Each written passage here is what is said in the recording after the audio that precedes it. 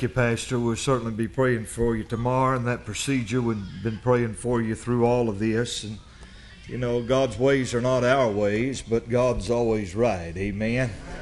And the Lord teaches us things through the schools of adversities that we don't learn any other way.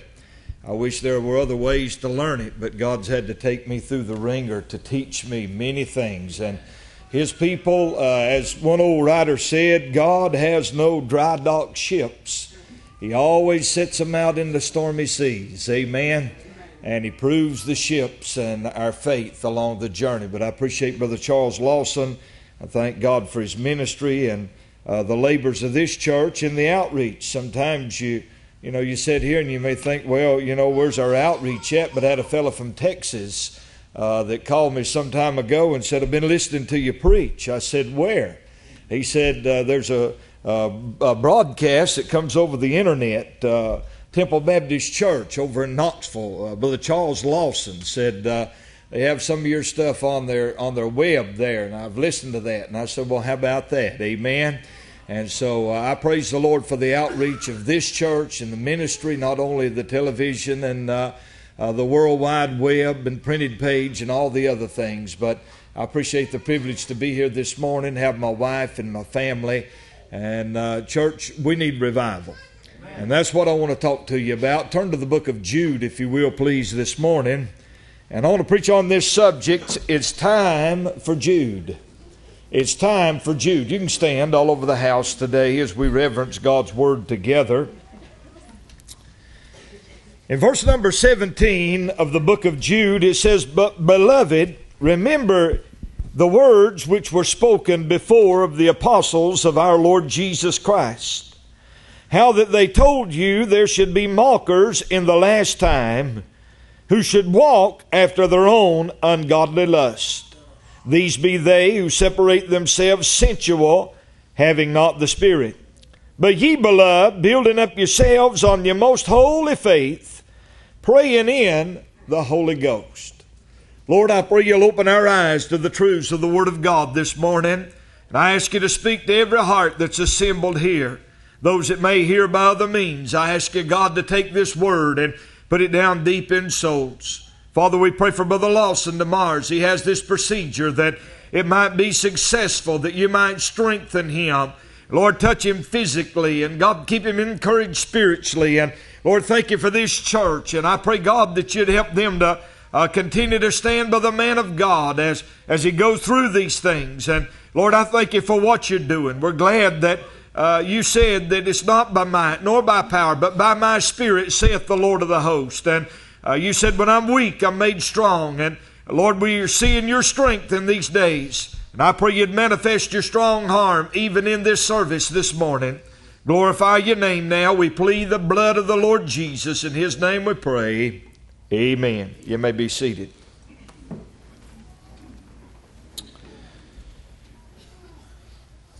The Mayan calendar ended, and some had predicted that would be the end of the earth.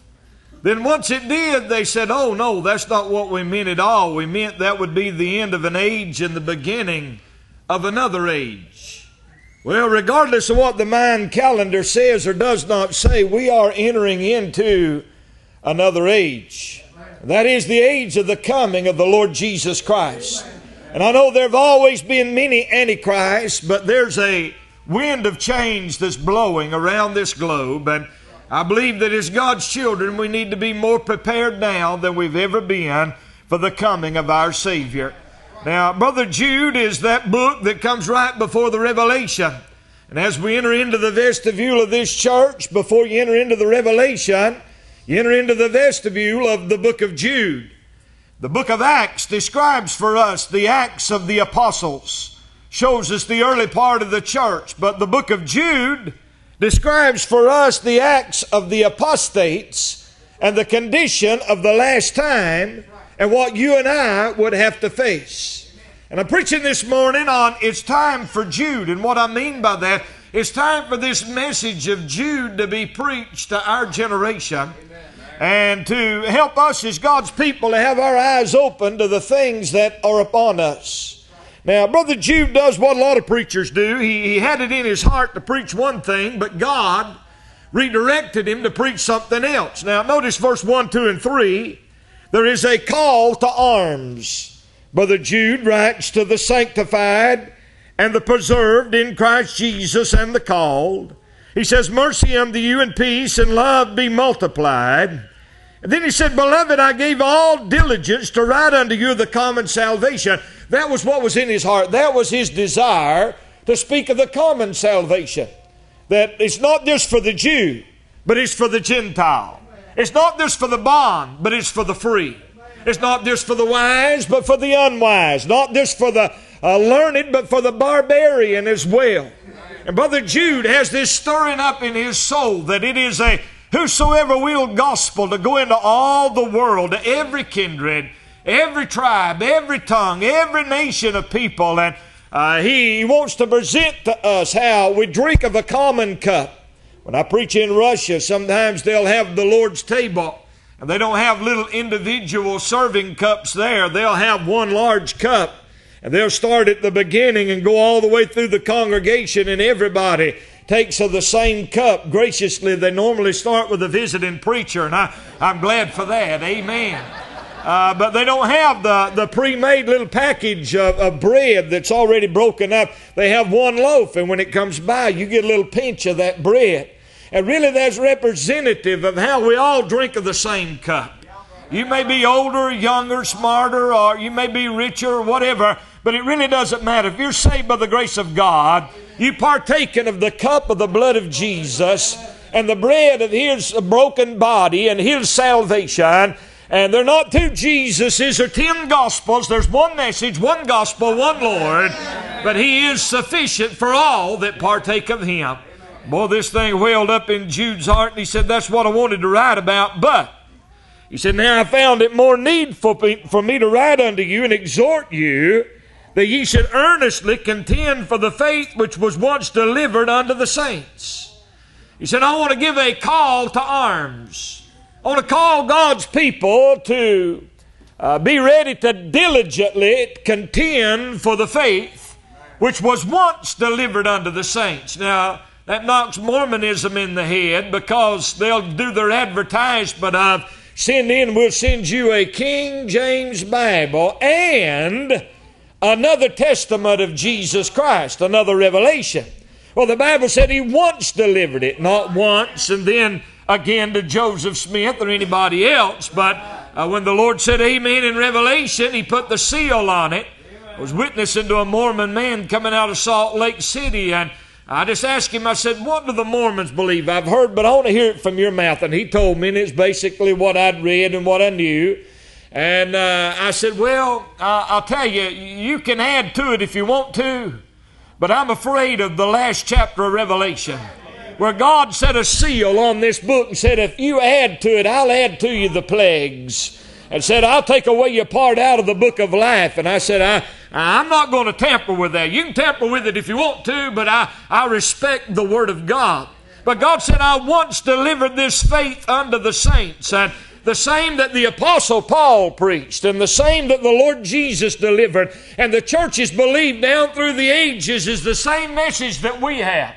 I'm not looking for something new. I'm not looking to run after a new fad or uh, some new doctrine or some undiscovered truth the church has missed all these ages. No, God delivered in plainness and in power the truths of the message of the gospel of the Son of God and it's not ours to uh, add to that, but it's ours to preach that, practice that, and believe that. Now, these truths are under attack from every side. And as God's children, we need to realize that we are in a warfare. Physical attacks, spiritual attacks. There are financial attacks upon the church today. And we can't just take it sitting down, coming in and going through a few services, sitting on a pew and going to the house. We have to engage in this warfare and in this battle and know that our enemy wants to destroy this church and every other church, your pastor and every other pastor across this country. And it's time for God's children to get real earnest about our faith and about the great commission that God has given us. Secondly, I see a confession or a characterization of the apostates, of that which we're going to have to face. To know your enemy is to be able to better combat that enemy. If you just go into a dark place and you don't know the enemy or what he is or how he is, then you'll be blindsided many times. So God says, I'm writing to you about the last times, the times just prior to the coming of the Lord Jesus Christ. And, and here's what will be present. Here's what you're going to face as a congregation, as an individual, as the people of God. Verse number four. For there are certain men crept in unawares. He said, first of all, you're going to deal with a lot of creeps. They're not going to come in blowing a trumpet and announcing, hey, I'm here to bring heresy. Hey, I'm here to change the charge. Here, I'm, I'm here to destroy the foundation of the Word of God. Dup, dup, dup, I want to take away the old hymns and put in all. They're not going to blow a trumpet and say, I'm a creep. No, they're like the fungus on the shower, it just shows up. Amen. Like that green stuff in the bathtub. It just, uh, you know, just it finds a way to get there. And our Bible colleges have been infiltrated, our churches, our movements across the country have been infiltrated by these certain men, these creeps that came in unaware, who were before of old ordained to this condemnation. God didn't just start condemning this yesterday. Uh, from old, from Cain, right on down, there have always been creeps that have come in to try to object to, destroy, fight, and change the truth of God. He said, ungodly men, turning the grace of our God into lasciviousness. So they'll have a message of grace, but it'll be a message of grace that come as you are, stay as you are, leave as you are. It's a message of, oh, you're saved, but now just do whatever you want to do. That's not the message of the Word of God. Titus said the grace of God teaches us.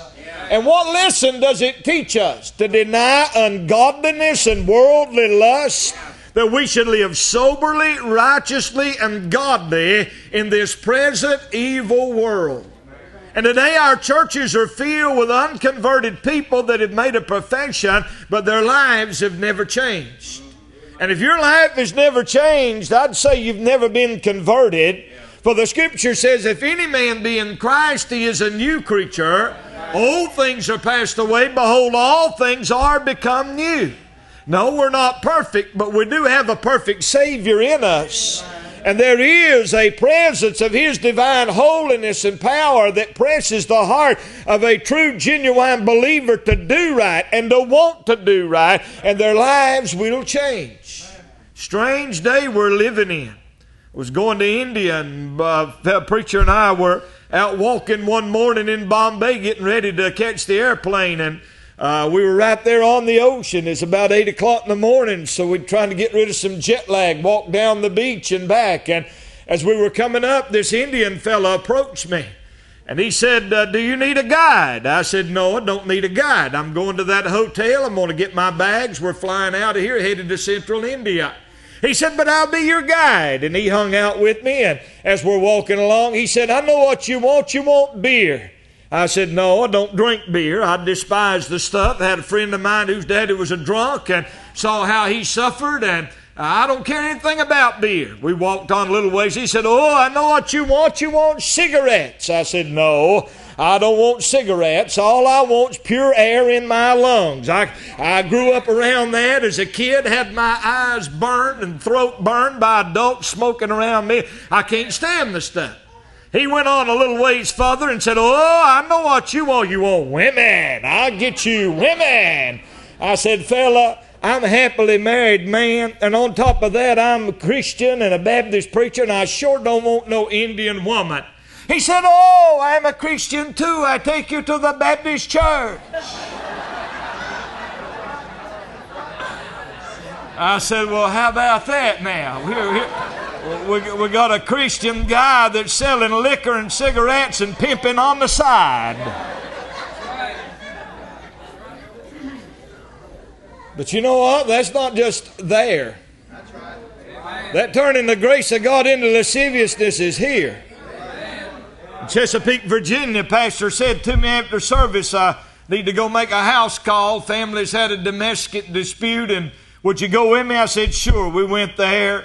Make a long story short, the daddy's son, 16 years old, had cussed his mom in the living room, uh, in the kitchen in front of him, and he flew mad, gave him an uppercut, and knocked him across the floor. And they had a big knockdown, drag out, come over there, and got to talking to him. And his mistake was this: he said, "I never." I laid a hand on that boy till just a while ago. I never spanked him, never disciplined him, and I thought, you don't start when they're 16 by cold cocking them across the kitchen floor. You start in Pampers, amen? That's how you train children from the time they're little children. But uh, at any rate, uh, he said, You know, I said, I was out in Las Vegas on a, a business trip, so I'll show you something. He went back in the back, got an Our Daily Bread and in that Our Daily Bread was a business card. And he said, I want you to read that. And it looked and he said, Madam so and so House Prostitution.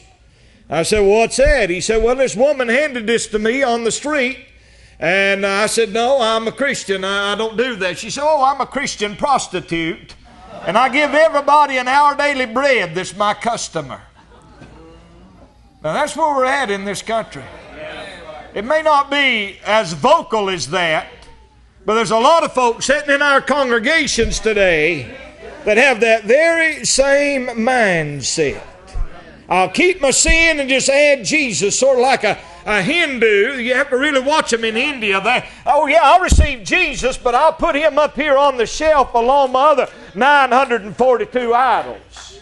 No, that's not the way it works. You rake all the idols off the shelf, and it's Jesus and Him alone.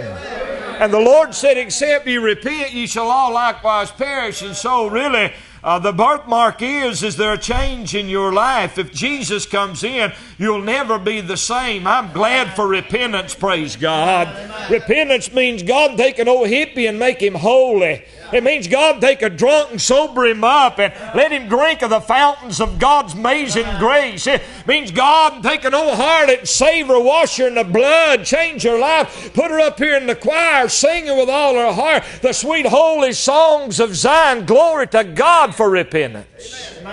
The Lord said in the last days there would be an attack on those that would turn uh, by, by those that turn the grace of God into lasciviousness and deny the only Lord God and our Lord Jesus Christ. He is the Lord Jesus Christ. Lord means master, overseer, ruler, and boss. And no man can serve two masters. We'll either serve him or we'll serve our flesh, but Jesus won't allow you to serve both. It's one or the other. Amen. And then he said, Let me give you a history lesson. Said, even Uh, in Egypt, there were many that came out, but afterward, God destroyed them that believed not. In other words, there was a mixed multitude. There were a lot of them that partook of the physical ordinances and walked physically through the Red Sea, but when they got on the other side, it was evidence that they really weren't God's people. In their murmuring, God opened up the heart of the earth and swallowed Korah and his crowd into hell with their clothes off. And there was always a mixed multitude among God's people.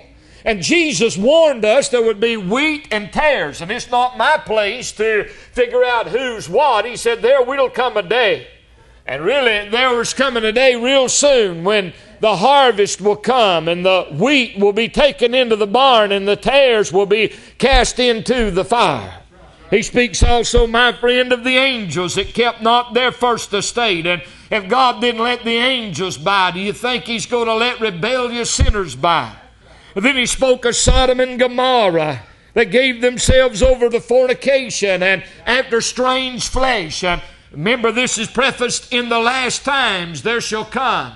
We've seen legislation from our uh, Congress and Senate and President and executive orders, and we've seen states and the perversion of same sex marriage and all of these things, things you'd never dream when I was a boy, you'd have never dreamed would ever happen in this society, and now it's just commonplace. And it's not just in Hollywood, it's in Knoxville, Tennessee.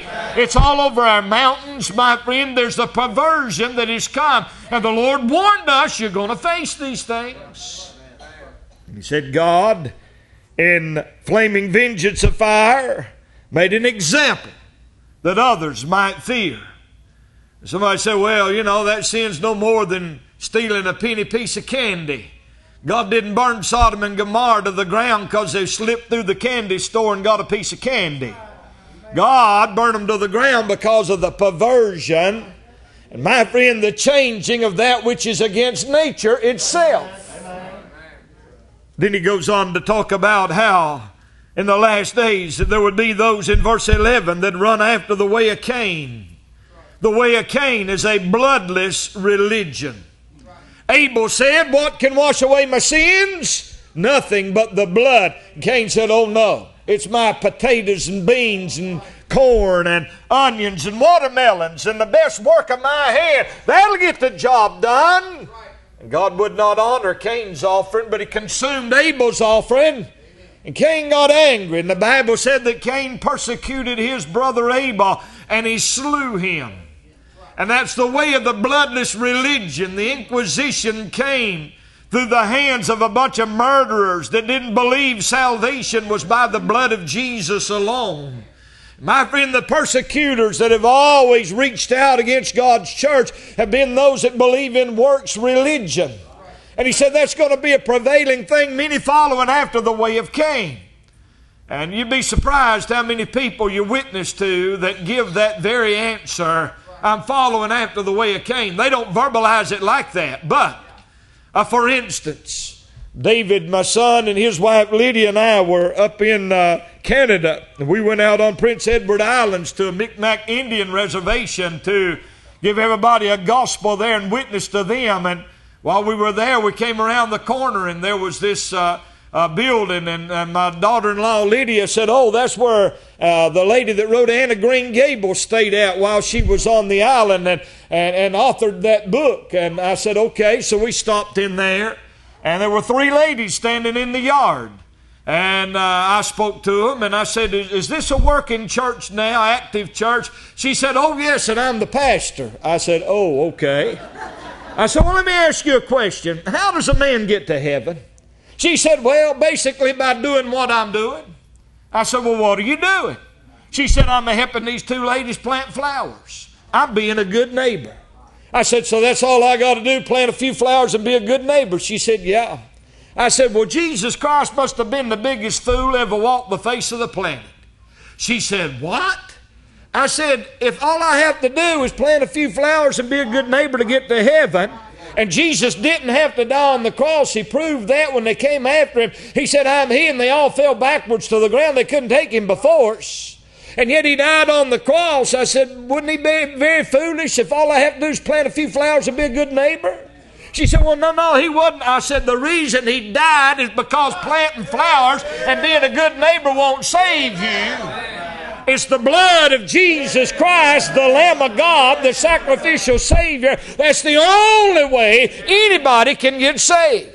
There's not enough good in you or me or anybody else to save ourselves. is through His precious blood. I witnessed to somebody at the airport in Charlotte the other day. They gave me the same thing. I'm trying to be a good neighbor. You ask folk, what are you going to say when you stand before God? Well, uh, you know, I, I've done the best I could. That's works religion. That's the way of Cain.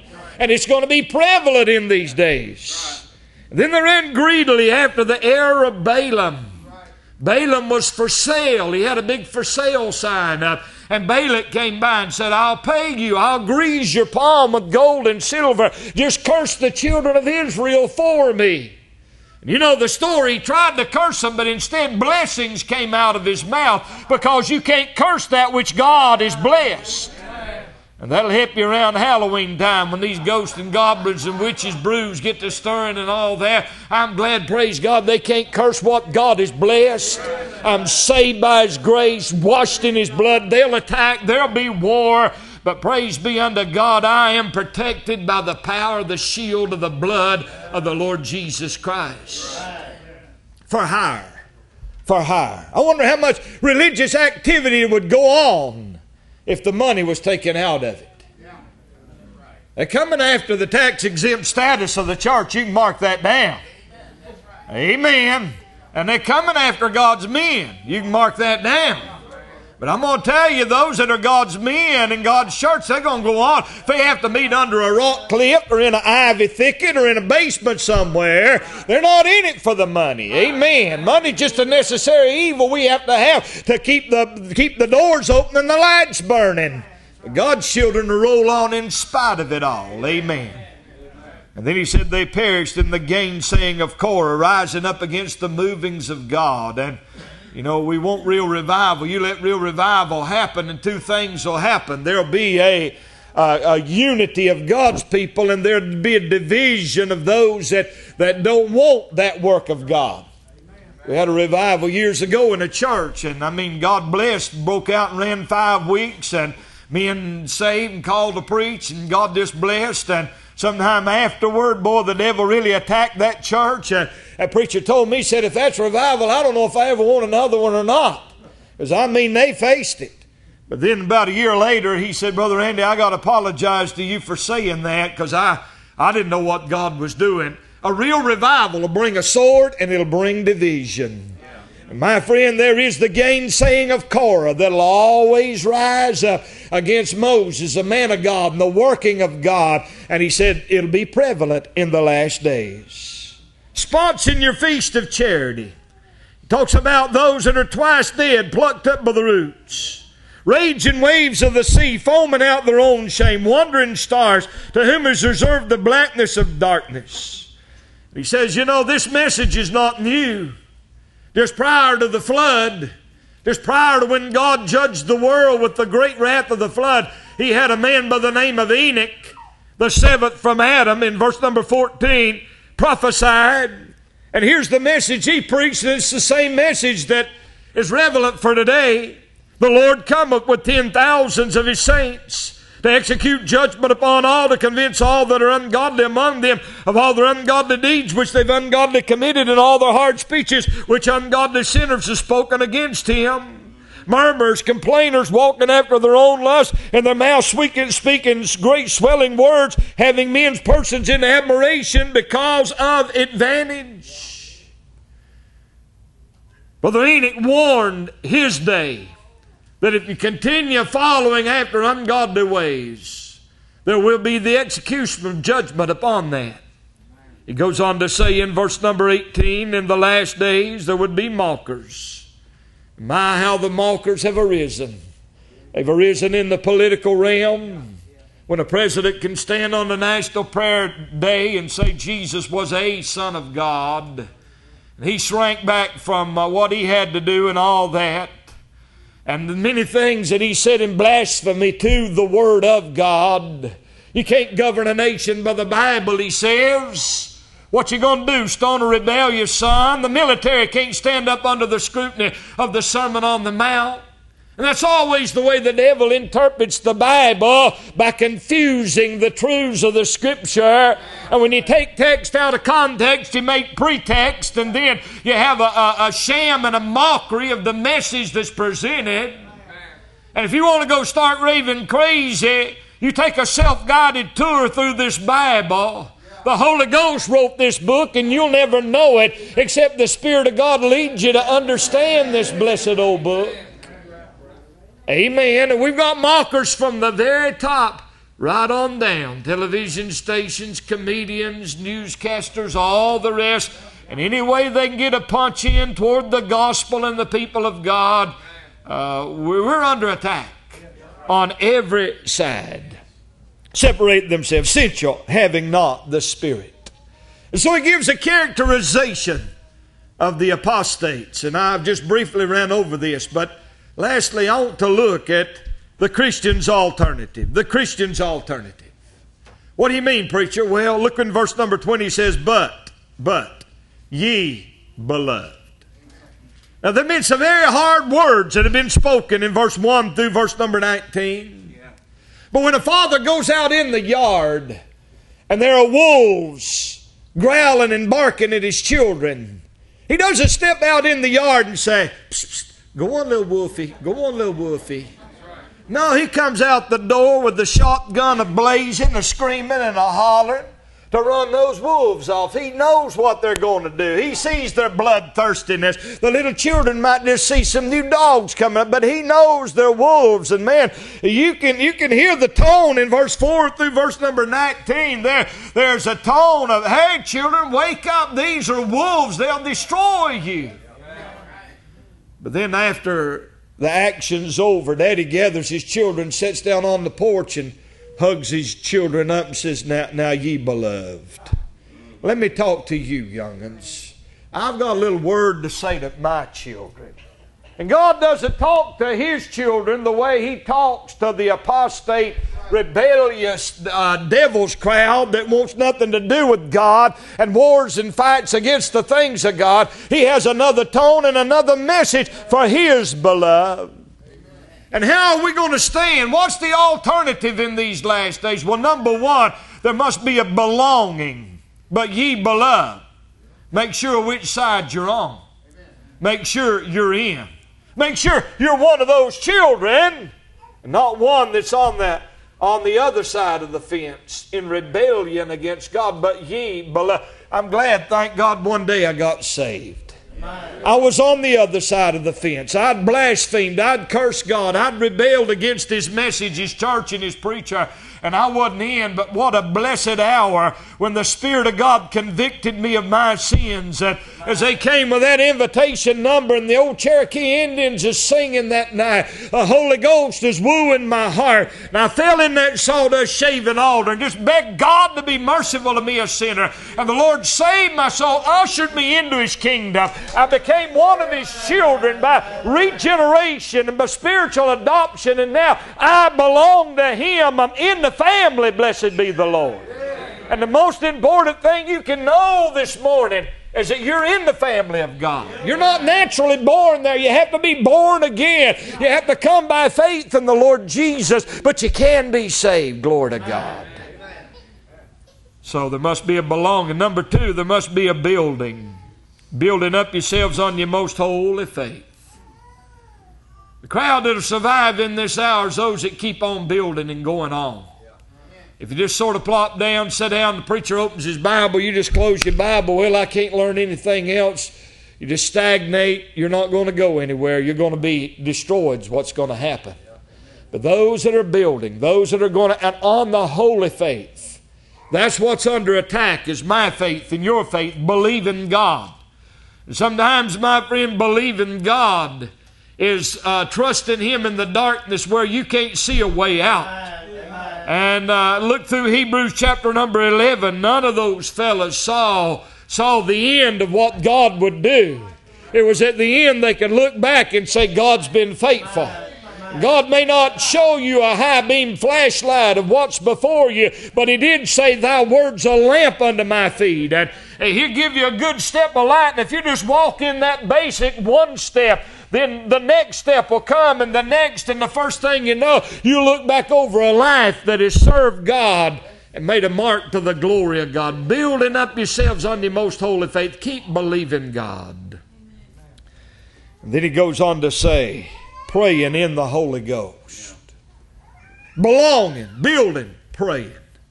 Praying in the Holy Ghost. It's time for Jude. It's time for us to get our prayer meetings cranked back up. Pastor's going in for this procedure in the morning.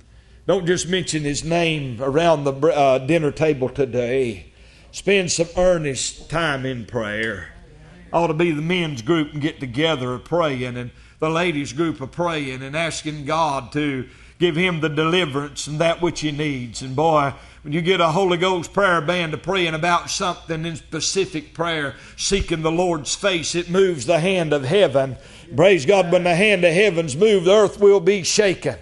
Amen. What happened to our old time prayer bands that get a hold of the name of an old sinner and start praying for them till God gets a hold of them?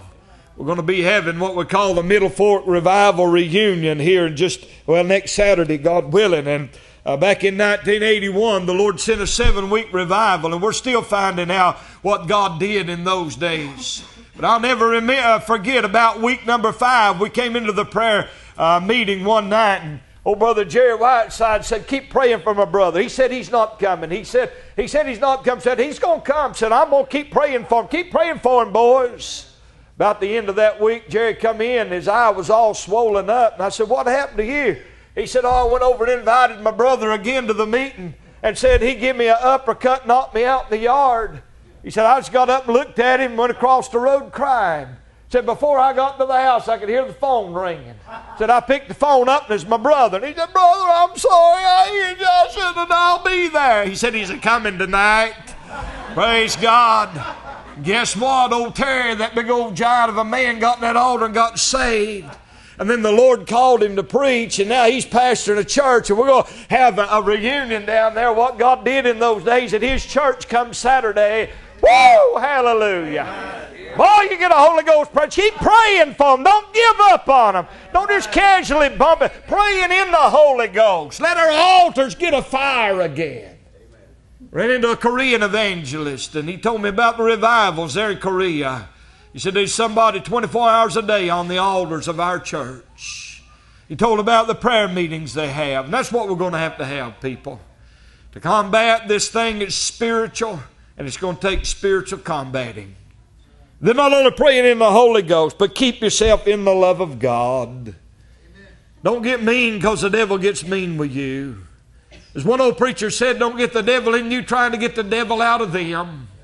It's not keeping God loving you, but it's staying in the love of God.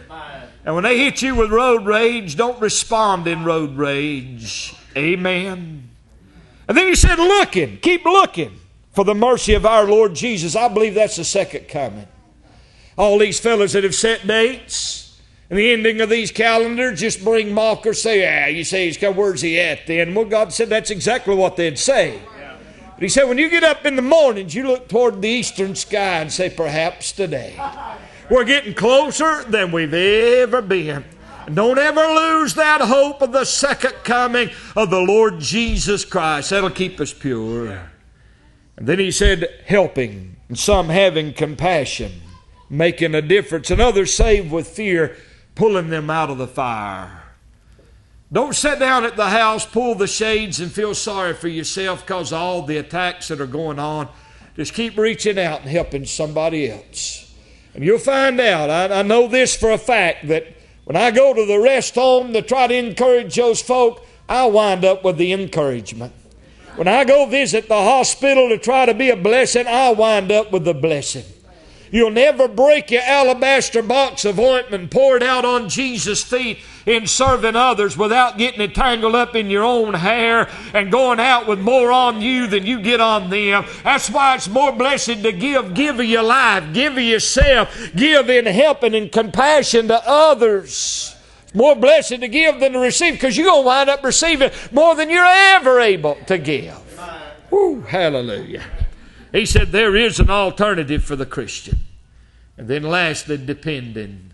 Now unto him that's able to keep you from falling and to present you faultless before the presence of his glory with exceeding joy. Just keep depending on God. Not the arm of flesh, it fails me. But praise God, unto him that is able. And our hearts are depending upon him, knowing that he will see us through anything that we'll ever have to face. And he closes out with a word of worship. Said, keep on worshiping. You know, sometimes we get loaded up and loaded down and we come in and it's hard to even stay focused long enough to hear a message, but if somehow we can say, God, clear my mind, give me a large pavilion that I might worship, this is what happens in the last verse to the only wise God, our Savior, be glory and majesty and dominion and power both now and ever. Amen. Brother Jude says, Come worship in Him. And isn't it amazing when we get our mind and our heart fixed on Him, how we forget about our troubles and everything else gets real small as we exalt Him that has all power, uh, majesty, and dominion, and to Him be glory and honor forever. Let's bow our heads and hearts before Him. Our song leader's coming with a song this morning. There's a heaviness on our nation. There's a heaviness in the heart of God's people. And I'd say there's a heaviness on some precious sinner this morning. You need to be saved. I want us to stand all over the house. If you want to come join these praying around the altar already, God spoke to you, whatever your need is, you might need to take that wife by the hand or that husband and say, Hey, Let's get this year started out right. Let's, let's, get, let's get in that altar and seek Him together. I don't know what all you're going through, but I know the one that is able to keep you from falling and to present you faultless before the throne of His glory. I don't know what your burden or your need is. You might need to be saved today. God spoke to you. Come seek His face. What number do we have, brother? Page 124 in your own there. 124. Let's sing it out. Page 124.